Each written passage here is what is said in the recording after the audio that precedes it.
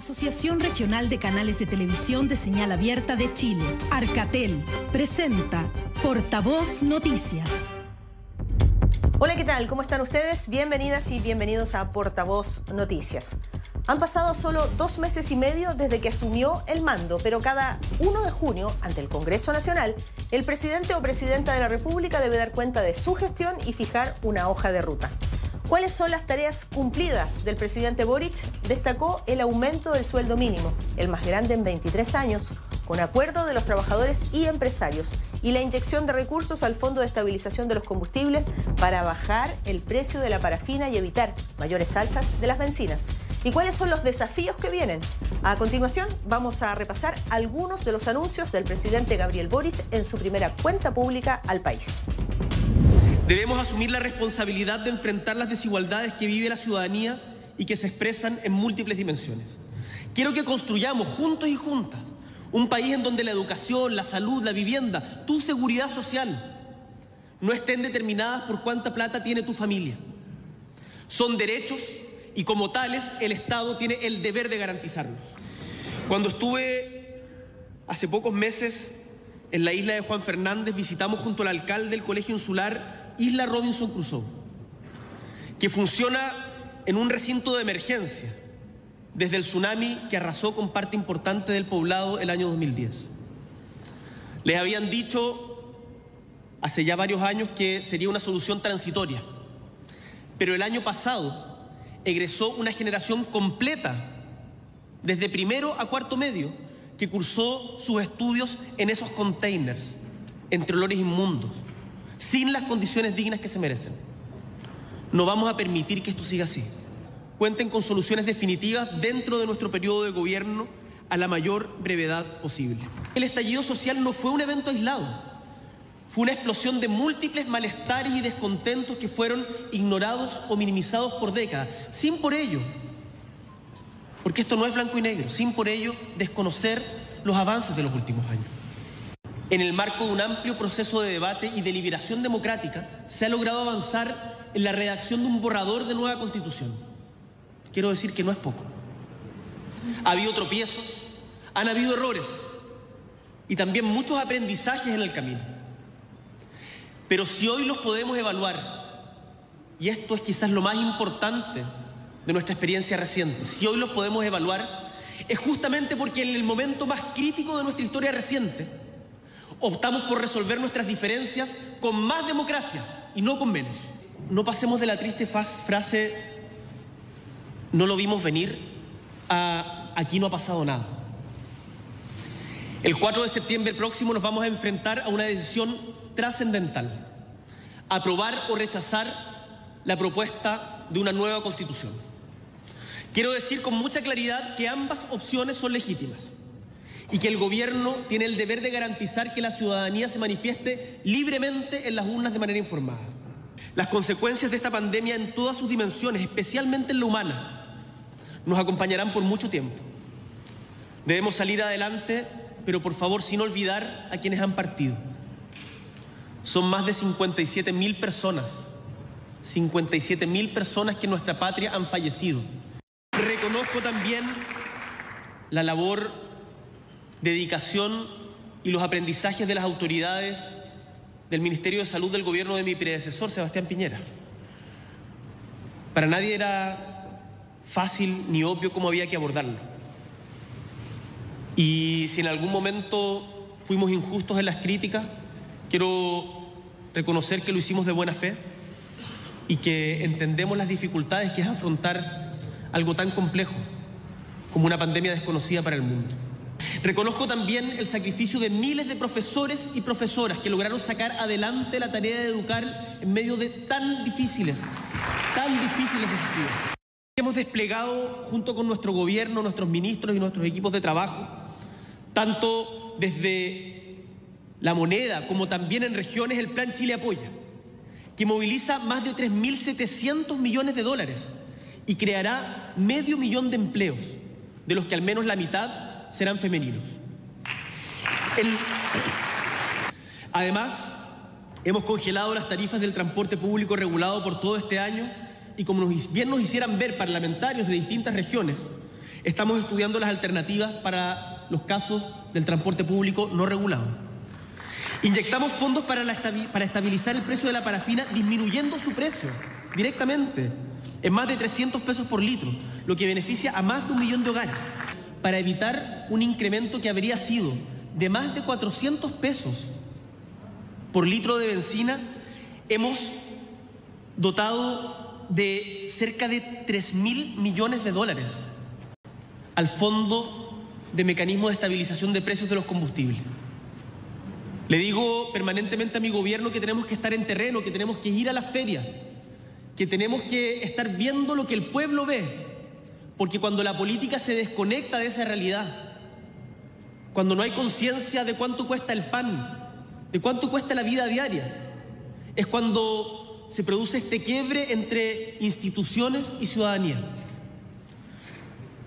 Por eso, a partir de este mandato de estar en terreno, es que hemos elaborado también un aporte adicional para cubrir el alza de la canasta básica. Y quiero destacar que este es un mecanismo que beneficia a más de 1.600.000 familias que hoy reciben la asignación o subsidio familiar. No podemos permitir que por esta crisis el cuidado de niños, personas mayores y personas con discapacidad recaiga exclusivamente en los hombros de millones de mujeres. Y es por esto que siguiendo nuestro programa de gobierno, que a su vez se nutre de las reflexiones y aprendizajes del movimiento feminista es que impulsaremos la creación de un sistema nacional de cuidado. Avanzaremos en corresponsabilidad, porque las mujeres han demostrado en Chile y en el mundo que no existen cargos vetados para ellas. Y lo mismo, aunque en otro sentido, corre para los hombres que aún rechazan o se resisten a realizar labores de cuidado por ser supuestamente tareas femeninas no más. Destaco el acuerdo alcanzado con la CUT, con la Central Unitaria de Trabajadores que involucra la mayor alza en los últimos 23 años. El nuevo salario mínimo viene de la mano con el acuerdo al que llegamos con todas las organizaciones de pymes, muchas de ellas aquí presentes, para que nadie se quede atrás. Que en agosto de este año, adelantando los plazos que habíamos comprometido al comienzo del gobierno, enviaremos un proyecto de ley que reforme estructuralmente el sistema previsional, aprendiendo, por cierto, de los debates que hemos tenido antes, y que va a ser resultado de un proceso de diálogo social amplio con participación de trabajadoras, empleadores, expertos, académicos y, por cierto, con la importante participación de este Congreso Nacional. Para despejar cualquier fantasma, quiero decir muy claramente que vamos a respetar cada peso de los ahorros previsionales acumulados en las cuentas individuales y la posibilidad de ahorro de los chilenos y chilenas para su vejez. Además, me comprometo a que con esta reforma en régimen, cada habitante de nuestra patria de 65 años o más tendrá derecho a una pensión básica garantizada por el Estado de al menos 250 mil pesos. Disminuiremos el copago del sistema público de salud para las personas de los tramos 6 y D de FONASA, beneficiando a más de 6 millones de personas. La salud no puede seguir siendo un negocio. No se puede seguir discriminando entre ricos y pobres. No puede haber atención en función de cuánta plata puedes pagar.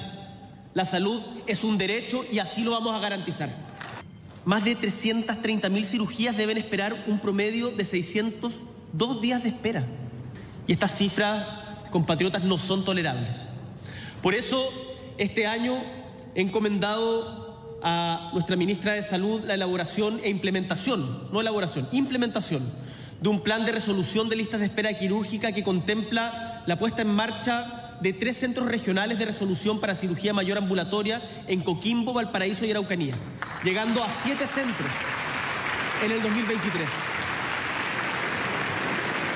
Al término de nuestro mandato, nos preocuparemos de que toda cirugía oncológica sea resuelta en menos de 90 días y toda cirugía de mayor riesgo sea resuelta antes de seis meses. Estamos comprometidos también con el derecho a los cuidados paliativos y una muerte digna. Y es por esto que hoy ingresaremos la urgencia a la tramitación del proyecto de ley que establece el derecho a la eutanasia en Chile mediante un proceso de consentimiento expreso libre e informado, respetando, respetando a quienes están enfermos.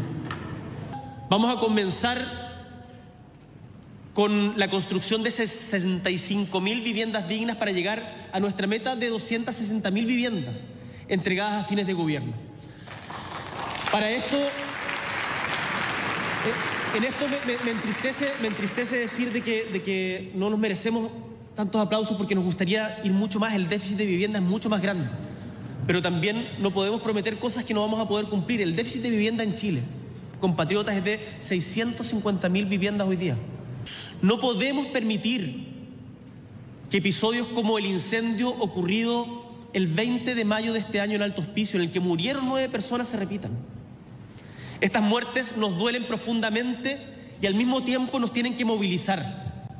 Por eso vamos a desarrollar la política construyendo barrios que nos permitirá avanzar en una estrategia de urbanización integral de campamentos e invertiremos durante todo nuestro gobierno más de 580 mil millones de pesos en 300 campamentos a lo largo de todo el país, beneficiando por lo menos a 4.500 hogares al año. Presentaremos el próximo año 2023, una vez aprobada la reforma tributaria, un plan de condonación de la deuda educativa de manera gradual y justa. Y en este mismo proyecto de ley crearemos un nuevo sistema de financiamiento para la educación superior, para terminar con el CAE, el Fondo Solidario y los créditos Corfo no más deudas por estudiar. A fines de este año presentaré a este Congreso Nacional un proyecto de reparación de la deuda histórica y pondremos fin también a la doble evaluación docente. El trabajo es solo una de las múltiples dimensiones en la vida de las personas y en Chile los tiempos de descanso y recreación son insuficientes. Por eso, impulsaremos con mucha decisión y convicción el proyecto de ley que reduce la jornada laboral a 40 horas. Por no tener acceso a Internet de calidad, estudiantes no pudieron estudiar. Tenemos que hacernos cargo de esa brecha. Para enfrentar esta situación, hemos creado el Plan Brecha Digital Cero, que asegurará al año 2025 que todos los habitantes de nuestro país tengan acceso a conectividad. Daremos tramitación además al proyecto de ley Sayen para que las personas privadas de libertad, embarazadas o que tengan hijas o hijos menores de tres años puedan cumplir su, su condena en forma alternativa a la cárcel. En Chile, solo el 16% de las pensiones de alimento son pagadas de forma efectiva. Esto es violencia.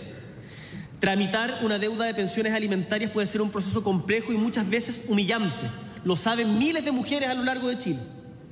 Esta situación indignante e injusta debe terminar de una vez por todas. Es por ello que hemos presentado el proyecto de ley sobre responsabilidad parental y pago efectivo de pensiones de alimentos, que se complementa con el Registro Nacional de Deudores de Pensiones Alimenticias, que estará publicado en una página web a fines de este año. Lo sacaremos adelante junto con este Congreso Nacional. Y le digo a las niñas y los niños de Chile que he leído sus cartas.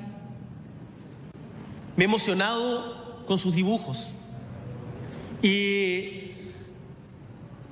he incorporado su mensaje. Quiero que sepan, niños y niñas, que este es su gobierno.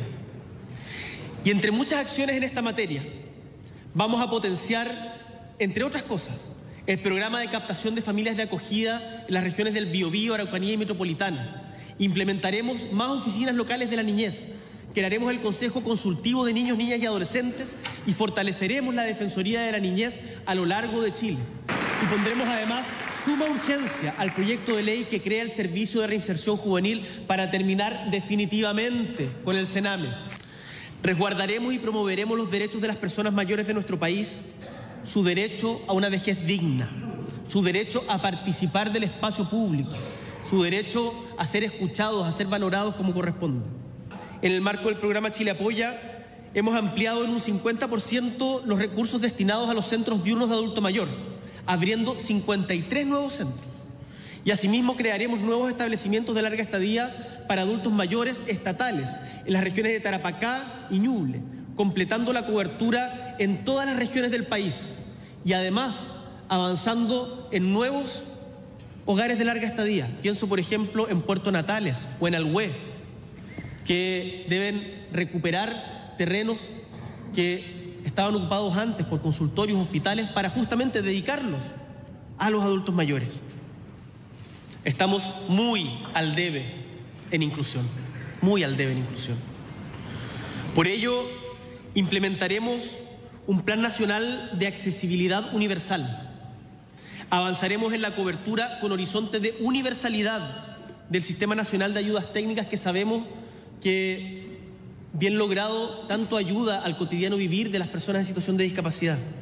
Vamos a mejorar también el financiamiento asociado a las modalidades de educación especial y promoveremos permanentemente, permanentemente, la inclusión de las personas en situación de discapacidad y el financiamiento de tratamiento en todo el territorio nacional.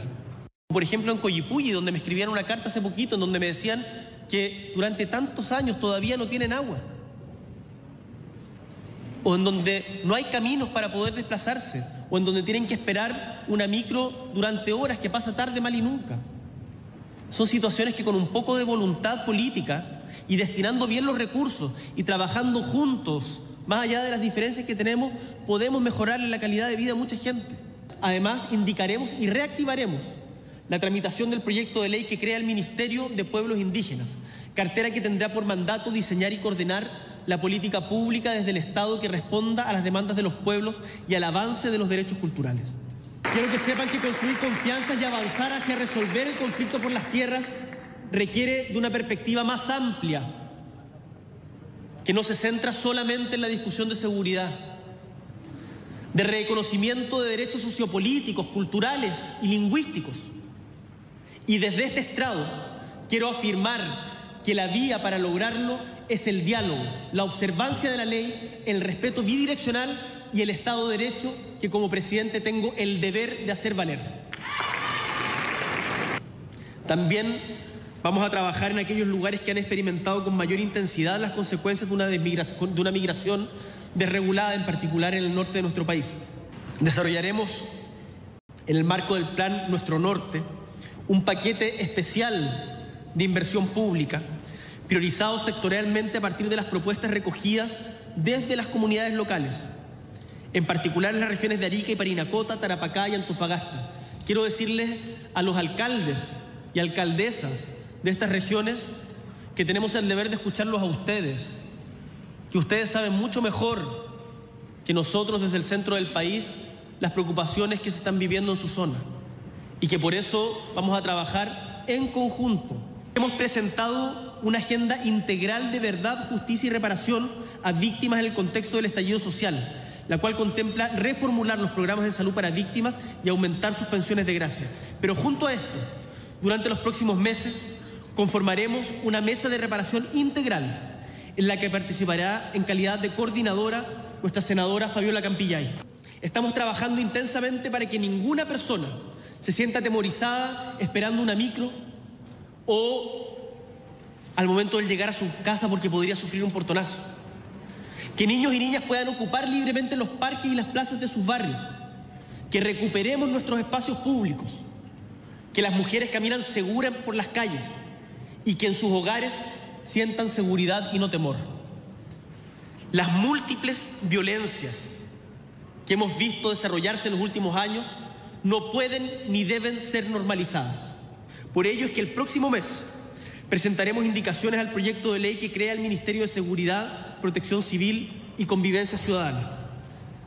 Además, tenemos la convicción de que reformar carabineros es mejorar la seguridad del país y es renovar una institución que cumple un rol fundamental para el Estado.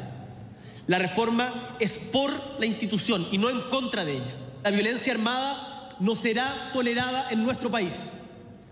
Y por eso, nuestro programa Menos Armas, Más Seguridad propone la limitación radical de su acceso legal. Y desde ya le solicito a este honorable Congreso todo el apoyo para aprobar una ley que nos permita avanzar hacia la prohibición total de tenencia de armas. Prohibición total de la tenencia de armas. Son muchos los barrios de Santiago, son muchos los barrios de regiones que están asolados por estos problemas. Por ello, este ejemplo va a ser replicado en el Plan de Acción para el Control y Fiscalización del Comercio Ilícito y Callejero, que está siendo implementado actualmente en 12 regiones del país para avanzar en la fiscalización, la persecución penal y la regularización laboral. Cerca del 40% de la flota de nuestras policías, de vehículos de nuestras policías, está inutilizada. Por diferentes motivos. Acá acá les, quiero decir con mucha claridad, acá esto no es un tema de quién es la responsabilidad. Hoy día es responsabilidad de nuestro gobierno solucionarlo y como gobierno lo vamos a solucionar. Y en el caso de la violencia rural, vamos a reformular el programa de apoyo a las víctimas de violencia rural que entrega subsidios de reposición económica a quienes hayan visto afectadas sus actividades productivas y o comerciales. Y brindaremos intenso apoyo jurídico y psicosocial a las víctimas en las regiones del Biobío, Araucanía, y los ríos. Estoy consciente de que esta medida no resuelve el problema de fondo, el cual estamos abordando mediante una política integral de compra de tierras y reconocimiento que antes detallé. Pero como presidente de la República tengo el deber de utilizar todas las herramientas jurídicas a mi disposición para garantizar la seguridad de la población. Y solo este año invertiremos 17 mil millones destinados a mejorar la reposición de retenes, comisarías y tenencia en las regiones de Antofagasta, Tarapacá, Arica y Painiracota.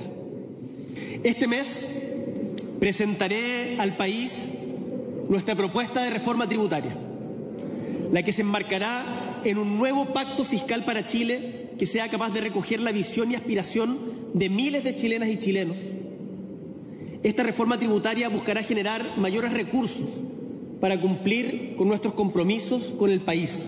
No podemos permitir que algunos contribuyentes sigan eludiendo sus obligaciones tributarias mientras millones de chilenas y chilenos pasan años en listas de espera por una intervención médica, para acceder a una vivienda o para conseguir una pensión digna. En cuanto a las oportunidades, utilizaremos los recursos provenientes de la licitación del litio para constituir un fondo que financie proyectos asociados a un nuevo modelo de desarrollo. Las políticas públicas deben pensarse con y desde las regiones. No queremos que las decisiones trascendentales de la vida de nuestros territorios se sigan tomando desde Santiago sin pertinencia local. Y eso es algo que los mismos parlamentarios nos exigen permanentemente. Hemos decidido darle continuidad a la política de zonas extremas creada en el gobierno de la presidenta Michelle Bachelet, pero para que no tenga que refrendarse cada tres años y haya que estar rajuñando presupuesto. Esto va a permitir acompañar y fomentar de modo permanente el desarrollo territorial de las zonas extremas del país, como las regiones de Arica y Parinacota, la provincia de Palena y la comuna de Cochamón, la región de los lagos, además de las regiones, además de las regiones de Aysén y Magallanes. He instruido además incluir en esta política pública a la región de Tarapacá. Para avanzar en este proceso de descentralización hemos comenzado, liderado por la Subdere y los gobernadores regionales, el proceso de traspaso de competencias a los gobiernos regionales. En estos primeros meses hemos transferido seis, solicitadas por los gobernadores con quienes además hemos estado trabajando junto con DIPRES y Contraloría en mecanismos para facilitar la ejecución presupuestaria. Le he encargado a los ministros de Obras Públicas y de Transporte y Telecomunicaciones impulsar el desarrollo ferroviario, la electromovilidad en el transporte urbano e interurbano, y mejorar miles de kilómetros de infraestructura vial que apoye el transporte público en regiones, mejorando la infraestructura de los aeropuertos, continuando con la extensión del metro y construyendo cientos de kilómetros de ciclovías, además de sendas peatonales en todo el país. Una amplia red de trenes para Chile. Nuestra meta es triplicar los pasajeros, pasando de los 50 millones de personas transportadas en tren el año 2019 a 150 millones de pasajeros durante el año 2026 no más diagnóstico y empecemos a trabajar en serio para el tren que va a unir a Valparaíso y Santiago.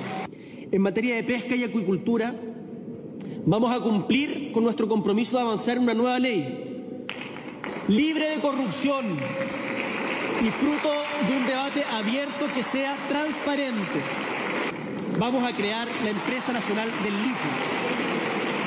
El mandato que tiene nuestra ministra es la creación de esta empresa mientras paralelamente avanzamos en, como lo decía, en el marco de la reforma tributaria, un mejor royalty que capture de mejor manera las rentas de la minería que no podemos seguir desperdiciando. La industria no puede ser fuente de aprovechamiento a costa de los consumidores, como hemos visto de manera indignante en los últimos días. Por ello, respecto a los antecedentes aportados por la Fiscalía Nacional Económica en los sobreprecios en la distribución del gas natural, el CERNAC será parte de la demanda que ha presentado la Corporación Nacional de Consumidores y Usuarios de Chile ante el Juzgado Civil. Y además, los Ministerios de Energía y Economía han sido mandatados a presentar en el más breve plazo un proyecto de ley que establezca tarifas para la distribución del gas natural, con mayores sanciones a empresas infractoras y compensaciones a los consumidores. No permitiremos más abusos. Vamos a promover también un rol más activo de la Empresa Nacional del Petróleo en el mercado del gas, el cual se traducirá en precios más justos para todos los chilenos y chilenas. El hidrógeno verde es una alternativa real para una transición energética en el mundo, no solo en Chile, en el mundo, que nos lleve a un futuro más sustentable. Esta industria ofrece oportunidades de inversión por unos 5 mil millones de dólares solo el 2025 y generaría exportaciones por 2.500 millones de dólares al año 2030 con un impacto significativo en el empleo y calidad de vida en regiones como Antofagasta, Valparaíso, Biobío y Magallanes. Todo esto va a ser posible si es que lo hacemos bien. Lo que nuestra experiencia nos dice que no está garantizado. Si no preguntémosle a Quintero, a Puchuncaví, a Tocopilla, a Coronel. Por eso, quiero que el desarrollo del hidrógeno verde lo realicemos incluyendo a las comunidades en las decisiones y con los más altos estándares medioambientales. En este, mi primer mensaje frente a este Congreso Pleno, siento fuerte e ineludible el sentido de responsabilidad histórica de consolidar en paz y en tranquilidad el proceso de cambios en el cual nos hemos embarcado. Todas las aquí presentes, todos los que habitamos esta patria de la cual estamos tan orgullosos, de la cual tenemos tantos motivos para sentir esperanza, los que estamos llamados a transformar nuestra realidad. Confiemos en nosotros, los llamo, los invito a confiar en nosotros, a confiar en nuestras posibilidades. Tenemos una oportunidad histórica y tengo la certeza de que cumpliremos esta tarea. Viva nuestro pueblo y que viva Chile. En su discurso no usó la palabra terrorismo y en estos momentos tenemos gente armada con armamento de guerra que está usando el terror para hacer acciones en una zona específica. Yo creo que el presidente Boric eh, se aleja un poco de las urgencias sociales y habla básicamente a grupos identitarios o tribales. Por ejemplo, cuando hablamos de seguridad, prácticamente no hizo absolutamente nada. La palabra Araucanía creo que no la, no la mencionó. Ha reconocido nuestro presidente que tenemos un déficit de 650 mil viviendas pero él le ha dicho que va a ser prioridad de su gobierno recuperar terrenos estatales. Y eso a mí me preocupa en lo particular porque en las comunas de Chile hay muy pocos terrenos estatales que tengan factibilidad para la construcción de viviendas. Y en el tema del, tren, que fue los anuncios importantes, ojalá obviamente que el tren también llegue a regiones, que no sea solo Santiago o Valparaíso. Estamos con casi dos tercios de los municipios del país en un plan integral de ayuda que son declarados de emergencia agrícola. ¿Qué significa esto?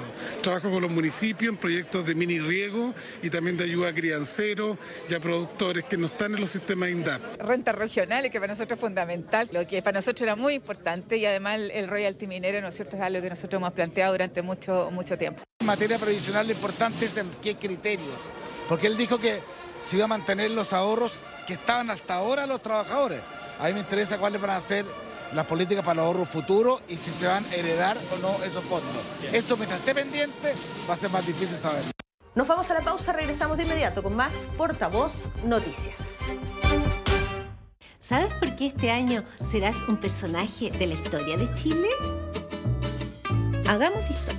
Conozcamos algunas de las constituciones de Chile.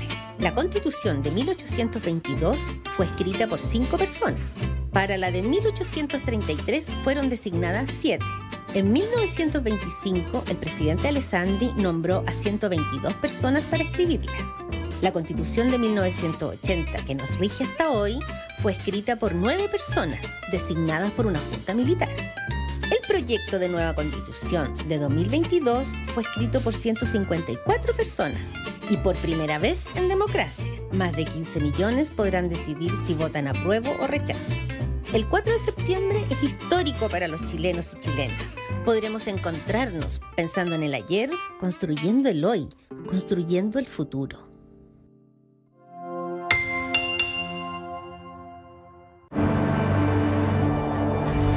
Chile nos arremangamos todos los días. Nos arremangamos de norte a sur, de cordillera a mar. Nos arremangamos porque nos ha costado, pero vale la pena. Nos arremangamos para construir un mejor Chile. Hoy nos arremangamos nuevamente. Ponte al día con tu esquema de vacunación contra el COVID-19. Cuídate y mantén vigente tu pase de movilidad. Ministerio de Salud, Gobierno de Chile. Chile mapumeo, rume yiwul tukuyin ruwenma. Yiwul tukuyin pi cumple ka wimapu. Se gui ple ka lafken ple. Que sao que yin ta yin pu poyenche. Yiwul tukuyin ta yin pu malenka pi chikikona ne kum kulfun ka yigun kliayin. Yiwul tukuyin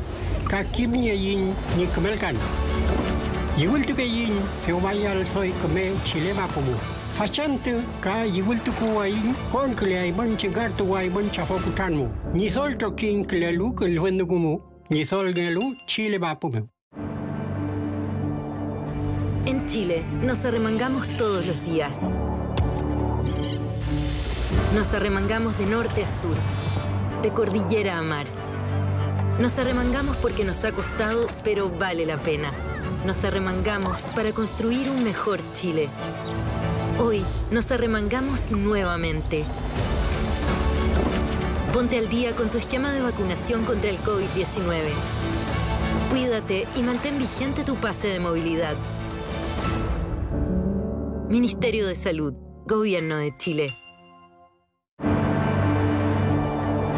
En Chile nos hemos arremangado muchas veces. Nos arremangamos de norte a sur, de cordillera a mar trabajando por quienes queremos. Nos arremangamos para que niñas y niños sean libres, sanos y felices. Nos arremangamos y sabemos que vale la pena. Nos arremangamos para construir un mejor Chile. Hoy nos arremangamos nuevamente. Ponte al día. Vacúnate contra la influenza. Ministerio de Salud. Gobierno de Chile.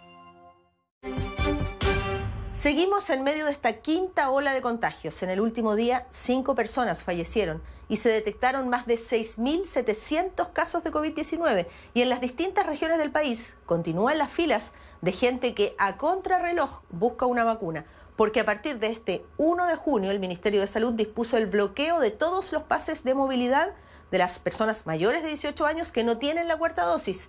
Desde ahora no podrán acudir a restaurantes, eventos culturales, musicales, ni viajar en el transporte público.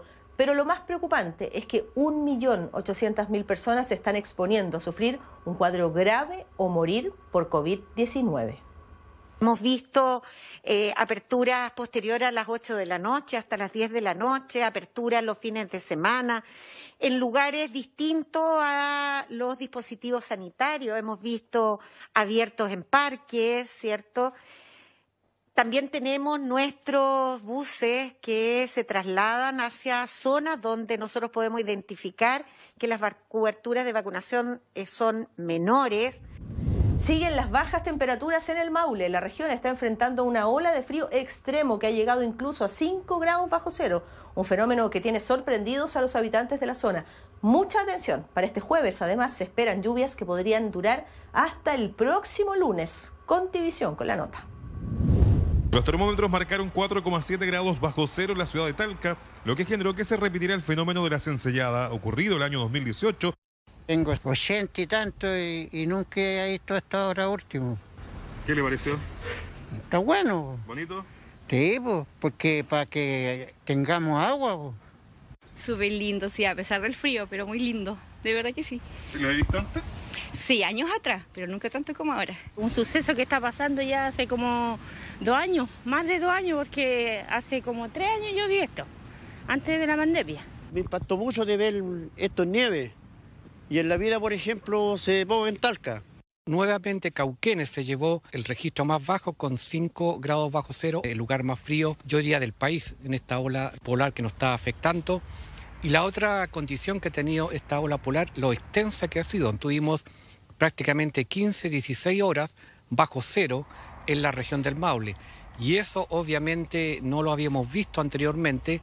Fenómeno que se genera cuando la niebla se congela debido a la temperatura que está por debajo de los 0 grados. En general yo viajé desde Linares hasta Talca hoy día y todo el camino había cencellada, sobre todo en la comuna de Maule, que parecía prácticamente un país nórdico, ¿no?